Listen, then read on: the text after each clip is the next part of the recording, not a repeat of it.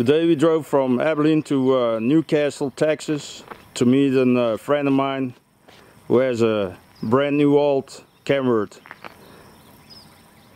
And uh, he restored it completely from actually nothing to what it is right now. And uh, we're gonna ask him a few questions, do a little interview, see what he can tell me about his truck and the, the work he's doing with it.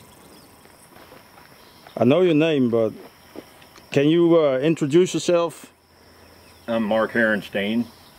And you're Uh, you're born in I was born in Iowa, and uh, my dad had a feedlot and a farm up there. And then we moved to Texas when I was 14 years old in 1983. And uh, yeah, me and my family moved down here. We lived in Seymour, Texas. But uh, yeah, I started trucking, I guess, when I was uh, 15 years old on wheat harvest, and did that for probably four summers while I was still in school, and then uh, then I when I was 19 I started hauling cattle for outfit out of Seymour. And uh, uh, that was in 80 87 I guess. And uh, started hauling cattle for Eastern Livestock and you know local ranchers around Seymour. and, and uh, drove an old Kenworth pretty much like this one right here and, uh, that's all I've ever wanted to do just um, drive truck and which is, I prefer hauling cattle. I've hauled grain and, and hay and a lot of ag commodities, stuff like that, but uh, I really enjoy hauling cattle the most. You know, that's that's been a little over 30 years now, I guess. So, you know. I, I got a lot. I got several questions on my paper. You already uh, answered a few of them. Um, the the thing is, you said I rather haul cattle, but why is that? You you grew up in that in in the cattle uh, business. business. Uh, you More knew people that are having uh, farms and ranches with cattle, and you're always were in the cattle. Yeah, yeah.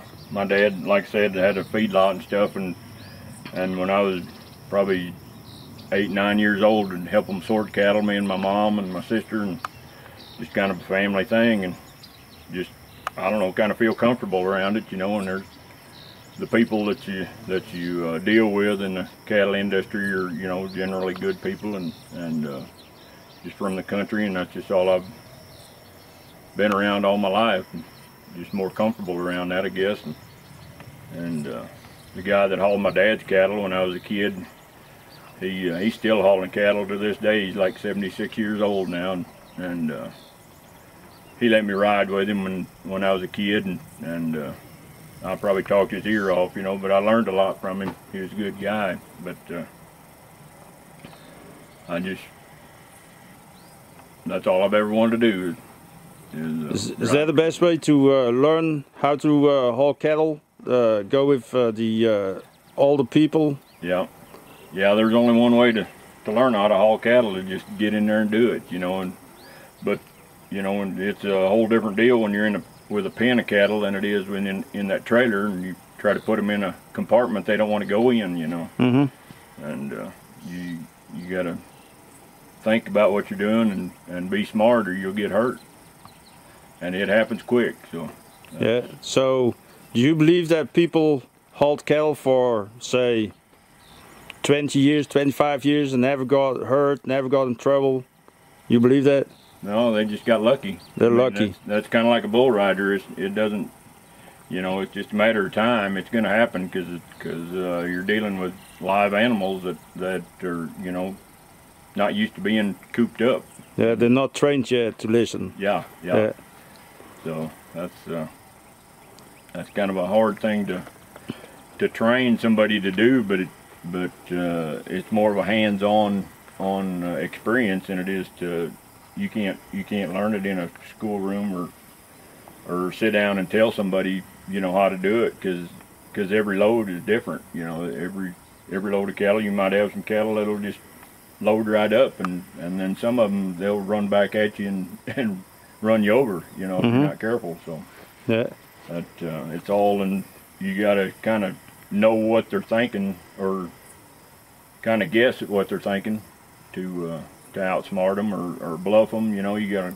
And and that's the experience, of course. Yeah, yeah. That's the experience by doing it a lot. You know, You're more comfortable. you, you don't know what they're gonna do, but you you expect more like the unexpected what Yeah. they're gonna do. Yeah, yeah. Yeah. You can kind of sense, you know, kind of sense what they're what they're gonna do. You know, especially like them old killer cows and and uh, canners and stuff like that. That uh, they're either sick or you know got a fever or something like that, and they're just loco in the head. You know, you just you um, sometimes they're uncontrollable. You just got to do your best to to uh, get them in that compartment that that they need to go in. You know, and some of them you you put them in with a bunch of you know or several other cattle to get them calmed down. You, if you put them by themselves and and try to force them in there, they're not going to go. You know, they're just going to come right back at you or, or not cooperate. You know.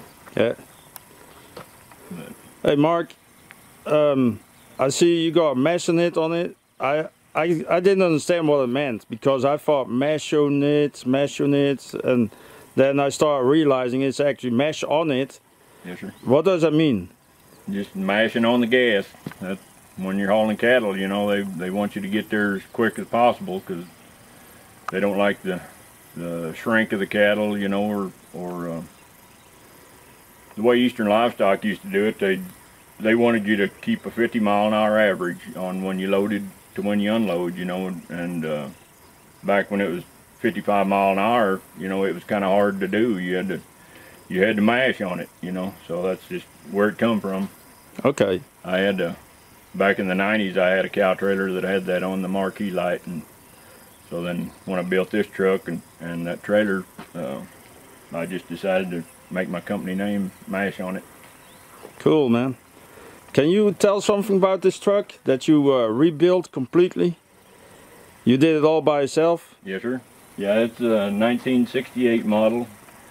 And I bought it down there at Mineral Wells, and it was uh, had been parked for over 20 years and just sitting behind an old diesel shop down there. And the motor was tore down, and and uh, the old rear ends and transmission, and the driver's window was busted out of it, and the radiator was stolen out of it, and it was just a, a mess. You know, the, everything was rotten. The the wiring and the air lines and all that was uh, was no good. So I just had to completely, pretty much gut it and, and pulled the old motor and transmission out of it, and and uh, took some rear ends off a newer model truck that's air ride and and uh, stretched the frame, and then I and then I put uh, it's got a B model cat in it and 15 speed and, and uh, completely redid all the wiring, all the air lines, and and uh, put different steps and fuel tanks and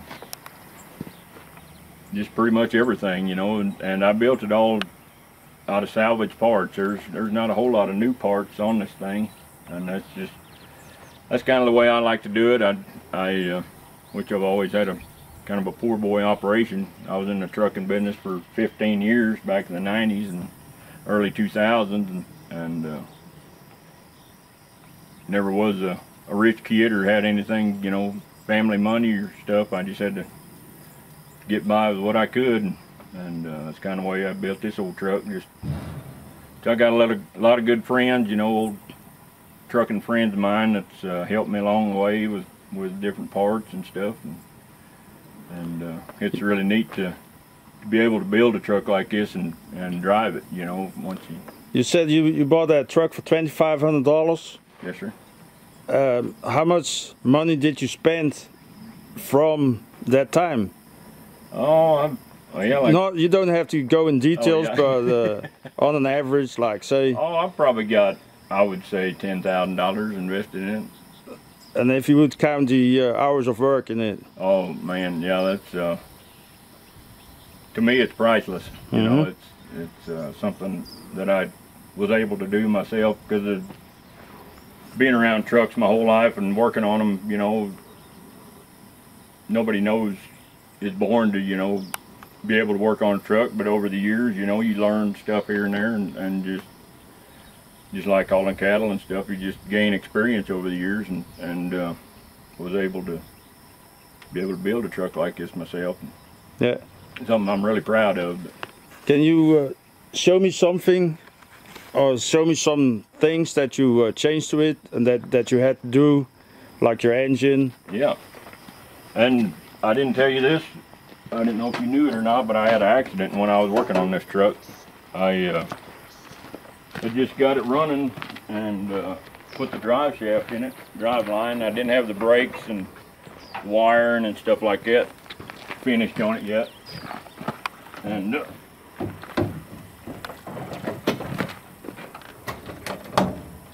I had uh, was kind of in a hurry one evening. Well, this is the motor. It's a B model cat. It's got a turbo off of 550 cat, and uh, it it does a good job. It runs good. Had a little trouble with the oil cooler here a while back, and had to replace it and stuff like that. But uh, it's a well, it's a 400 horse. It come out with a with the air to air intake on it, but uh, I put the water jacket after cooler on it. But, uh, but when I was building it, I,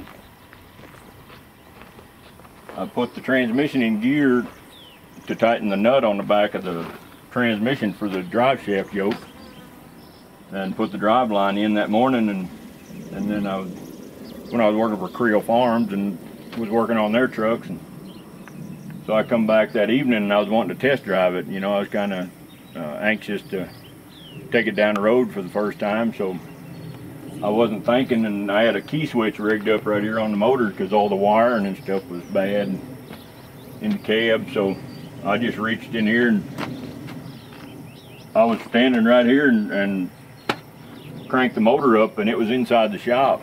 Well, the motor started right away and it lunged forward and that front of the hood hit the back wall of the shop and it closed that hood on me and it slammed me right straight down.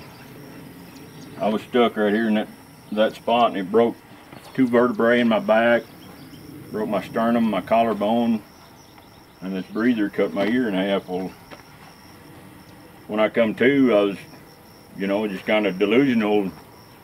It had knocked me out. I don't know how long I was jammed up under there, but uh, I come to and I could feel, you know, I was busted up inside and stuff, and I staggered, walked to my pickup, and and this was like the shop was three miles from where I live here, and, and I drove myself home. That was like eight o'clock in the evening, and eight o'clock the next morning I come to, and I was laying on my bedroom floor and uh, called my boss and told him he needed to call the ambulance because I was in bad shape, you know. I'd, but uh, this fender still I leave it like that, just kind of a reminder. But uh, I stayed three days in the hospital. They care flighted me to Fort Worth, and uh, about 60 days I was laid up, and and thank God I, I everything I didn't have any have any surgeries or or anything like that. Fully fully recovered, and which I'm a diesel mechanic now. I I kind of part time. Uh, drive this old, which I drive this old truck to work every day. And, uh, but I'm a diesel mechanic now, so men pulling wrenches and stuff, it doesn't bother me, you know, my back or anything. So uh, I was really blessed not to, not to be, you know, permanently injured or whatever from that accident. But uh, it happened, so me and this old truck already got a lot of history together, and it's only been, I've owned it three years now, so. What about the uh, what about the cap itself? You bought it like this? Yeah, yeah. It uh, the paint was it was sitting underneath the tree all that time, and it kind of had black all stuff off that tree, you know, that had mm -hmm. settled on it, and, mm -hmm. and luckily I I uh, pressure washed it and got it all cleaned up, and the paint was still pretty decent. It's you know it's got some stuff paint flaking off, but but it still looks looks neat and, and to repaint one of these is pretty expensive so. Yeah. Um, I'm glad it, it turned out the way it did. Didn't have to do a new paint job on it but everything else I pretty much replaced or the steer axle and the frame and uh, cab and the hood and the sleeper is about all that's you know original as far as uh, what came on it from the factory. But but uh, Can you show me the interior? you bet. Yeah, I was uh, when I built the truck. I've got two sticks in it, but uh, the four-speed auxiliary stick isn't hooked up to anything yet. i my plans are to put a four-speed auxiliary behind this 15-speed, and I will eventually. I just hadn't uh, hadn't done it yet, but the the interior is pretty much done. I've, the interior of the sleeper still needs to be finished, but uh, as far as the seats and the, all the gauges work and the, everything, so You said a little window here in the back you have to crawl through to Yeah. get in your sleeper. yes, sir. Yeah, it's a crawl-through sleeper they call it, and the, the old Kenworths came from the factory with a roll-up window in between the cab and the sleeper, and uh, since my sleeper's not finished, it, it's uh, it worked out good for me where I can just roll that window up and and uh, just kind of run it as a day cab now, so it doesn't have a you know weather coming in or whatever. So when it's raining, I can stay dry. And it's your original sleep, you say. Yes, sir. How, how wide is it? It's a 36 inch. Yeah. Uh, some people call them a coffin sleeper. Some call them a, well, they actually it's called a crawl through sleeper for the crawl through opening, but it's a just a single sleeper. And the the back panel is kind of rare for these old Kenworths from the late 60s and early 70s. Had what they call a ripple back, and it's just kind of a pleated back panel there in the center. And you don't see many of them anymore. So I kind of unique. And like the exhaust pipes and stuff like that, all that's I just welded together tips of exhaust pipe, you know, two of them, and then then the elbows and all that. Just it's kind of a rat rod theme. I don't know. Uh, just one of them things that I like to do that makes it original or you know one of a kind that a lot of people don't even think about doing as far as uh, stuff like that. I just kind of like to do it to say I did it, you know, say I could do it. And you stretch it a little bit?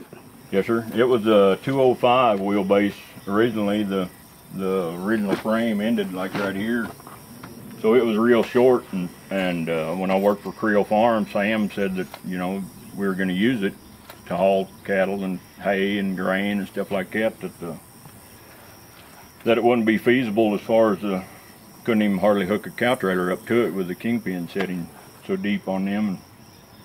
And they had this uh, Freightliner air ride suspension, and uh, so they let me have it, and and I added it onto the back of the frame rails, and and uh, lengthened it to a 280 wheelbase now, and, and it uh, it works out real nice. It's got a good ride to it, and and uh, and I can pull pretty much any trailer, you know, available. I got the I extended the the slide on the fifth wheel so it can slide back further as far as like pulling a low boy or something like that. And then when you haul hay, if you got a cradle up front, you know where your round bales hang off halfway off the front of the trailer, you still got room there too. So it works out good. You know, yeah, I've got. It's one thing you don't see much anymore either is a hubometer. Uh, we used to run them back years ago. That a lot of times them old cable driven speedometers they didn't you know they'd break a cable or whatever and this is just an accurate way to to run your mileage and it runs right off the axle. It just it's a every time you the wheel turns it just clicks clicks off the miles. And I've got a little over 18,000 miles on it now since I rebuilt it so and it's held together good.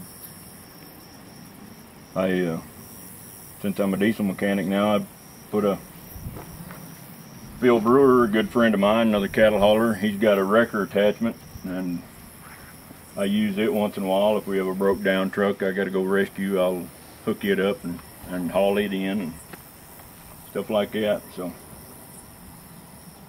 and I got this old cow trailer I rebuilt, and uh, it's not. Guy can't use it to haul cattle anymore, but it's uh, it's a neat old trailer.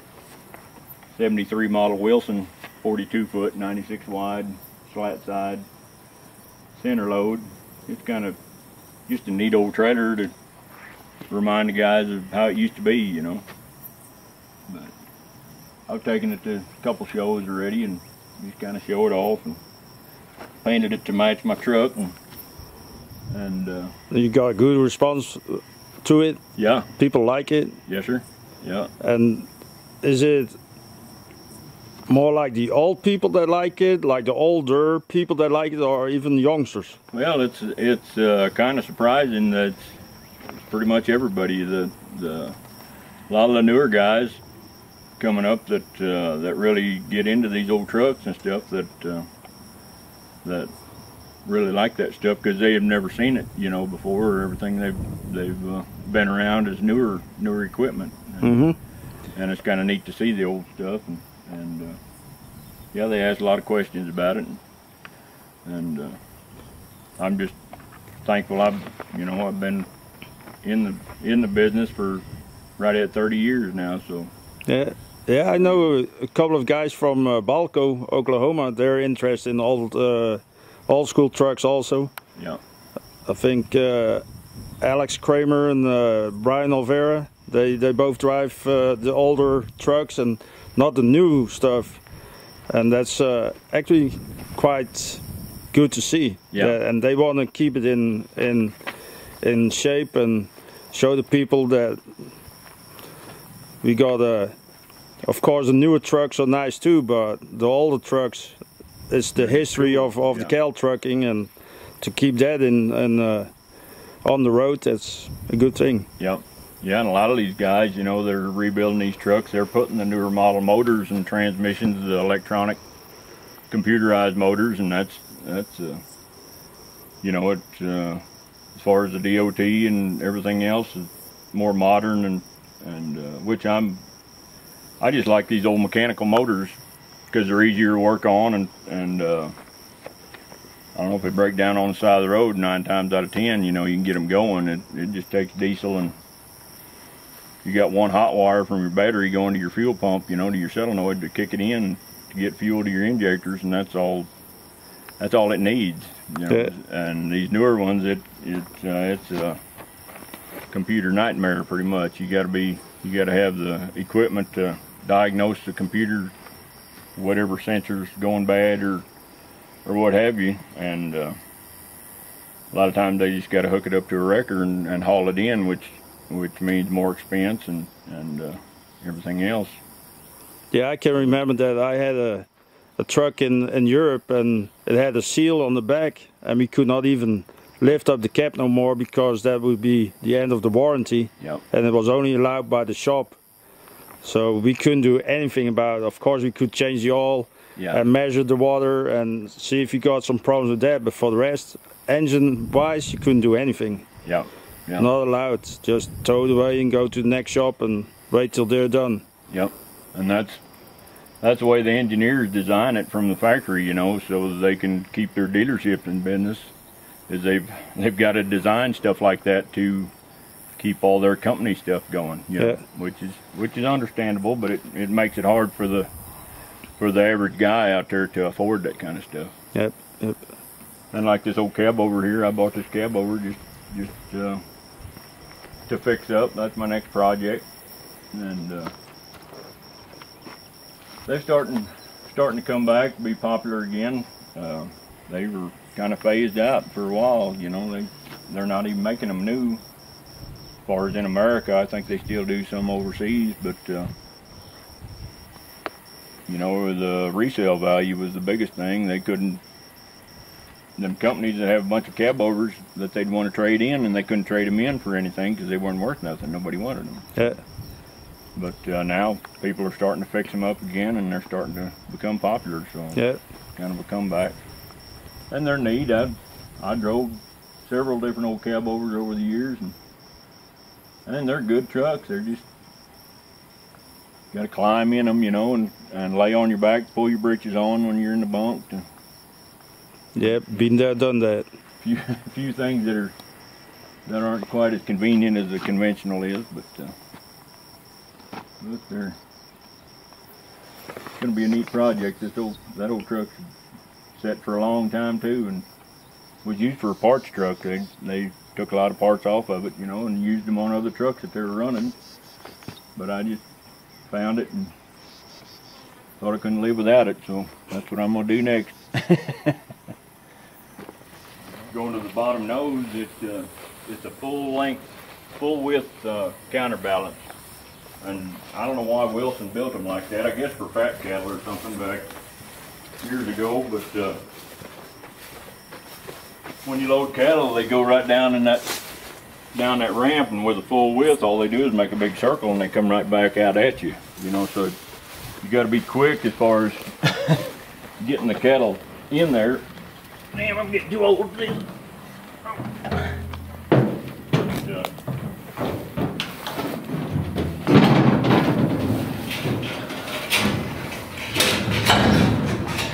This baling is not factory either.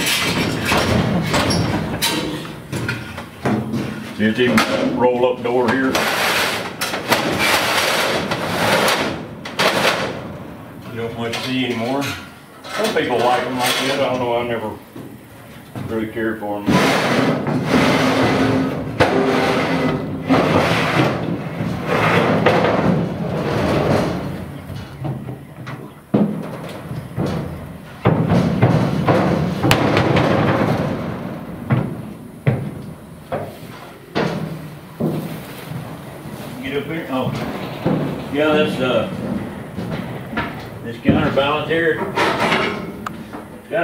Really. It's.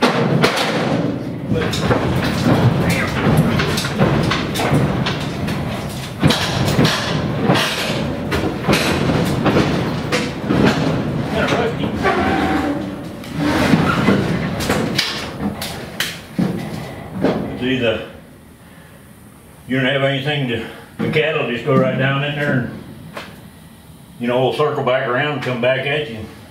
Like this trailer doesn't even have a center center divide gate, so you're just you're wide open there, you know, to try to get them cattle in this one compartment. Yeah. But kind of a poor design thing. That's the way it used to be. Cut that again. Got two big pins here. You, you say, how old is this trailer? 73. So that's 40, 46 years old. Yeah. Your for your top nose, you just got a little gate here, little ramp. And don't even open, but see all this area is open.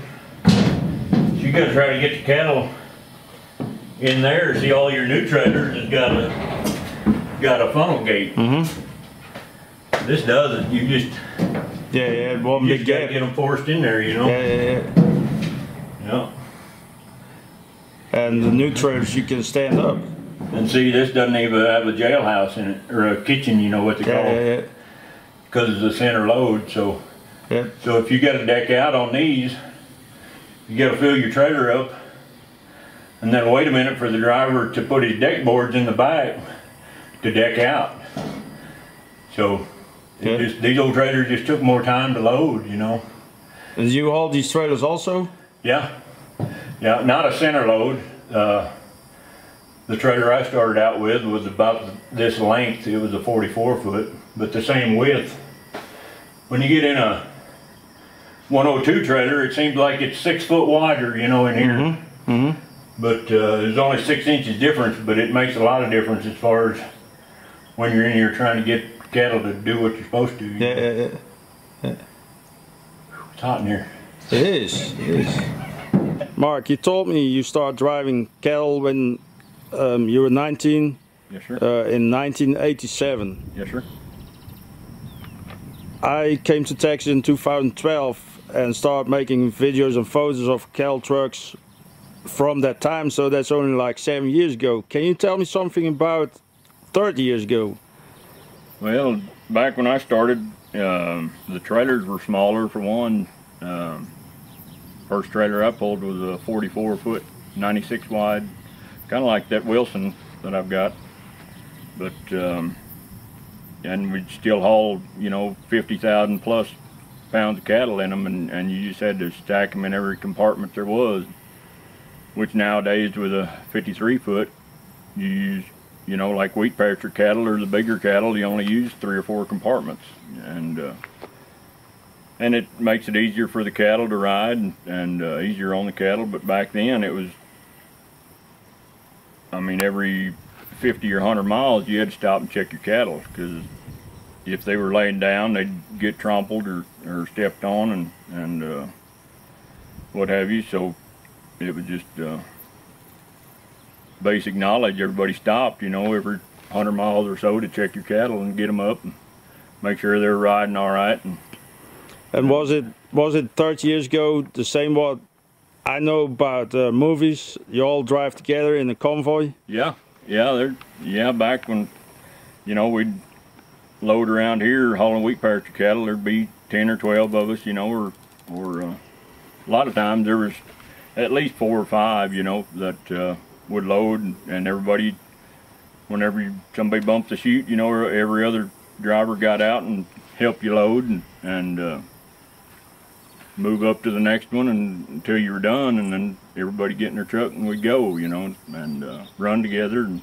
and because shoot back then you had tube type tires, you know, and you couldn't run them flat for very long, or you'd you'd uh, you just have to air them up, you know, and and uh, keep going.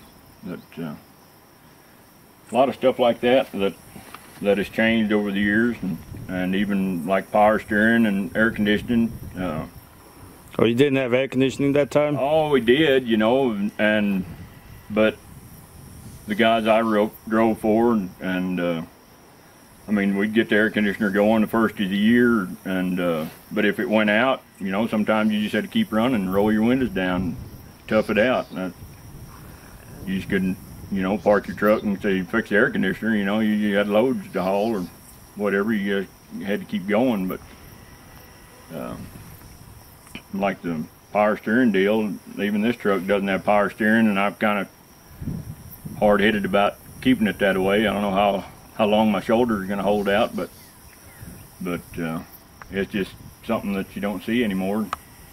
Everybody's used to power steering and got little steering wheels and all that stuff. This one's still got the old 22 inch steering wheel, and every time you make a corner, you got to pull on it, you know, and Yeah. you got to work at it. To, How were the roads uh, back then?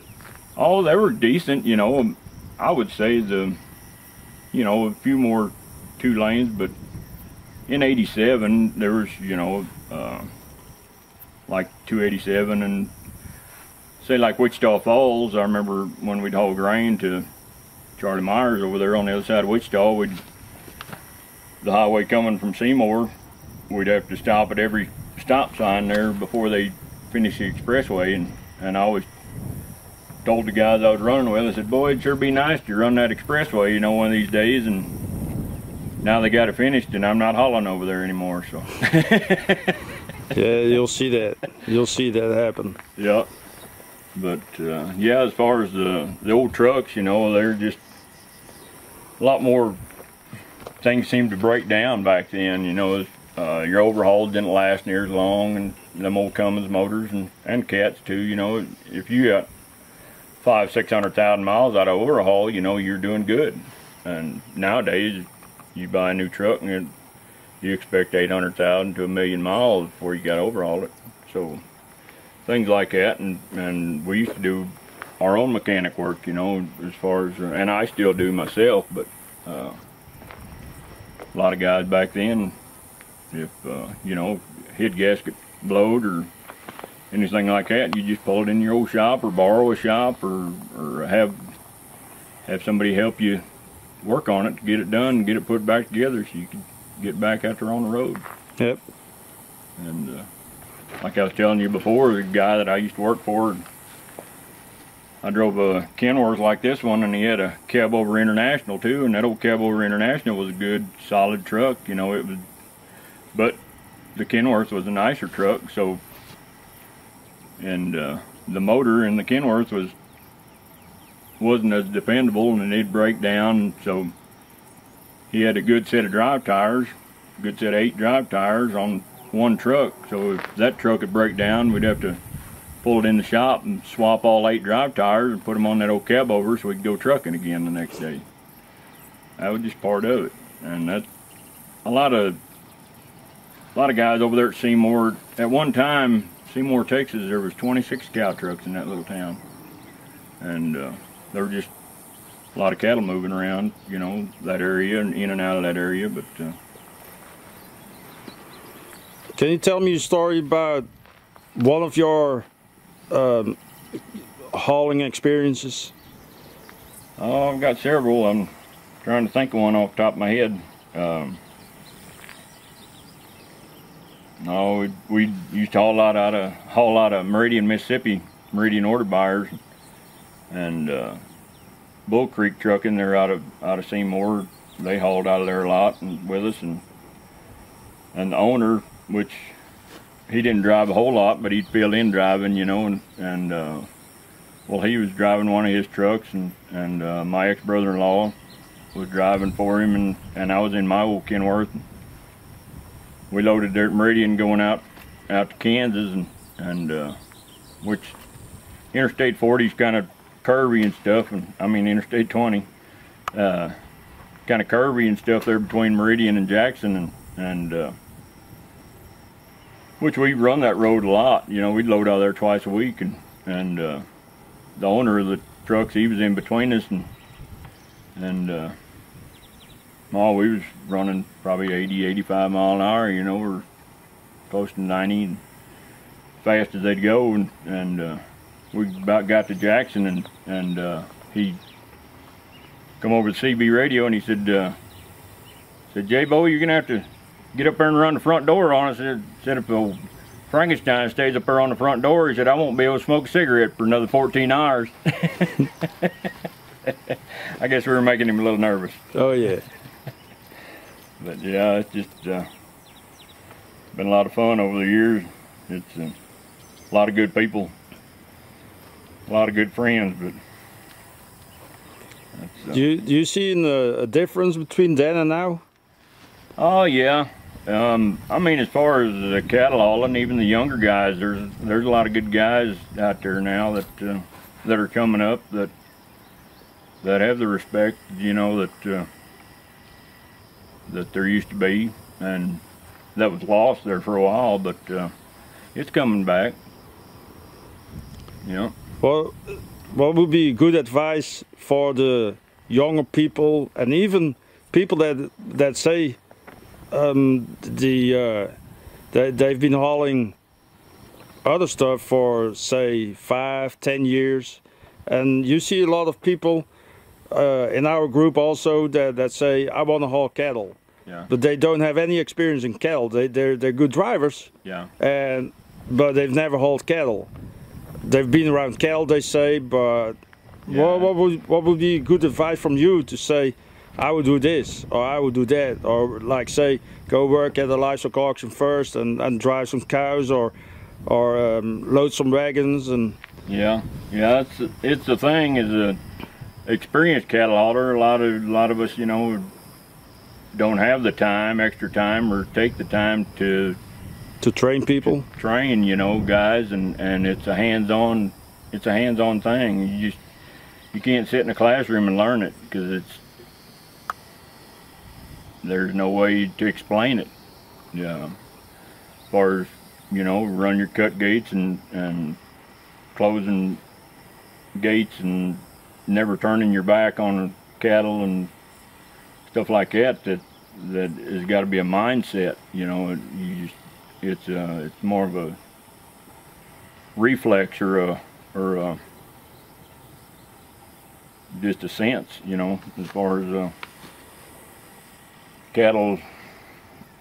I don't know, they're just unpredictable, and uh, as far as new guys, I'd, if you want to haul cattle, yeah, uh, try to find somebody that uh, that will take the time to to teach you how and and if you know how to drive a truck, you know there's there's guys that'll that'll put you in a truck hauling cattle that uh, that'll that are willing to, you know, run with you or or help you load the first few times to kind of get your feet wet and and uh, that's that's about the only way I know how. Uh, as far as uh, as far as learning, because it uh, you know nobody's nobody's born to be a cow hauler, nobody was born a cow hauler. That's everybody's got to learn. Yeah. You know, everybody. Everybody started for the first time, of course. Yeah, yeah, and I'll never forget the first time I I just about got my lip busted from a cow kicking a gate into me. You know, I didn't strong arm the gate to when I was shutting it, and it kicked it and kicked it right back in my face. You know, and it, it'll happen quick.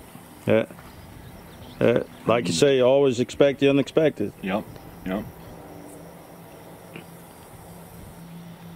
That's right. I, I got a few questions about money wise, but I think I, I know your answers already. One of the questions is uh, what would you do if you had a, a whole lot of money? I, I think your answer would be uh, I'd have a whole nice paint job and uh, maybe some new parts for my truck and yeah, yeah. I'd have more old trucks sitting there in the yard probably. Yeah, but would you, if you had the money, would you buy a few trucks uh, that are already restored and like make your own museum or? No, I like to do it all myself. That I uh, I don't know. It's just kind of a sense of accomplishment, or uh, it's a personal thing as far as uh, you know, building something from nothing. Just like building a hot rod car when I was a kid, or you know, it's uh, it's neat to take an old truck that's been sitting in the weeds and and drag it home and and just start tearing into it Mm-hmm. and uh, finding other trucks for parts and, and stuff like that. It's just uh, it's all I've ever done. That's what I enjoy. Yeah. Yeah. Yeah. Uh, I think you also make uh, model trucks. Yeah, I've seen that on on Facebook that you uh, posted one or, or several that you made for other people. yeah, yeah. I, oh, I started that one Christmas for a friend of mine. He didn't have anything to, you know, give his give his boys for Christmas, and I was driving his truck for him, and and uh, he said, "Let's see if we can make a replica of my old truck." And so we did, and, and uh, that's where it all started. And I've I don't know how many trucks I've built over the past probably 15 years. Uh, I've built several replicas for friends of mine, as far as uh, like even little winch trucks with electric motors out of a VCR, you know, that'll run the winch line and remote control trucks and and uh, I even built a full scale. It's a 125th scale cow trailer that's fully functional. The gates, the everything, and I gave it to a friend of mine's boy that, uh, loves trucks, and and I got tired of it sitting on the shelf here, so I just gave it to him with a remote control cab over Peterbilt, and uh, he loves it. I would love it. yeah, I even had a mailbox that I built, and uh, state highway department made me take it down because they said it was a, a hazard to the traffic. But it was a it was a cow trailer. The cow trailer was the mailbox, and uh, yeah, it was it was probably I don't know three foot long, something like that. Mm-mm. Yeah, Yeah, I would love to have. I, I asked people to make me a mailbox one one time, but I never got a. I never found the right person that could do that well for me. yeah, Too bad. yeah, yeah. They say that it's uh it's um. He said if if a car hits the mailbox and it and it comes into their windshield or something, that you're liable. So It's the, it's the, everything's gotta be it's the fault of the car driver. Yep. Everything's got to be a standard, just like my mailbox out there, just on a plastic pole. Standard mailbox. Life could so much better without any rules. I um, I I posted a question on our Facebook group out of cattle trucks, and one of the older guys said uh, you should ask everybody the same question, and that's the question: What do you think the direction of the cattle trucking industry is going to be in the future?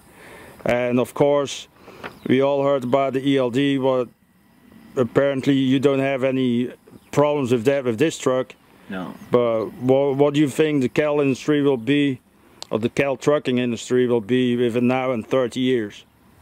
Well, it's the the regulations is going to have to change because I mean, it's all right now. People still get by with what they need to do, but if they put the squeeze on it, they're only hurting themselves. They're only the only thing they're hurting is the price of beef on the at the grocery stores. I mean, it's if you put a squeeze on the cattle haulers, they're going to have to charge more per mile to, you know, if they can't run a uh, long distance anymore and they got to, you know, use two or three trucks to to run the run the route instead of one truck doing it.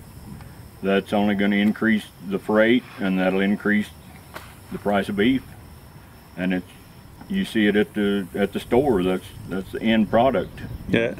Somebody's got to pay for it. Yeah, Somebody's got to pay for it, and Yeah. then, and that's consumer. Yeah, So that's gonna be me.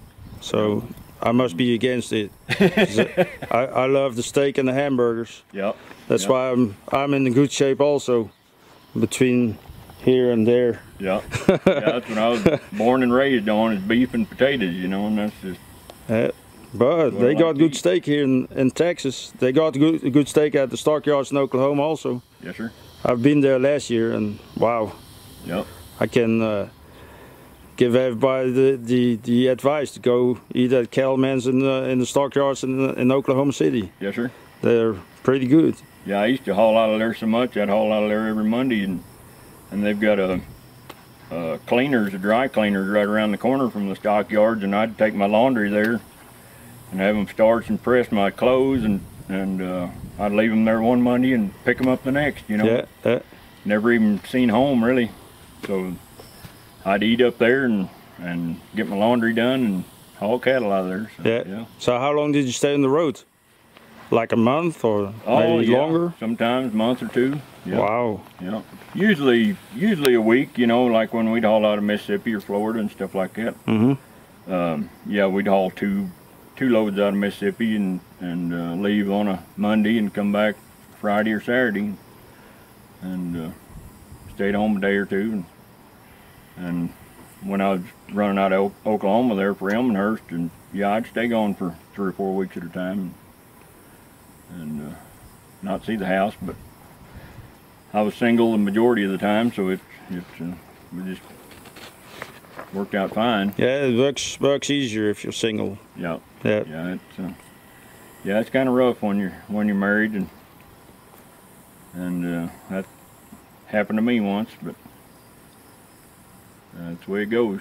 Yep. That's life. Yep. Life. Uh, some sometimes you take the chances and it works out good. Sometimes it doesn't work good at all. Yep. Yep.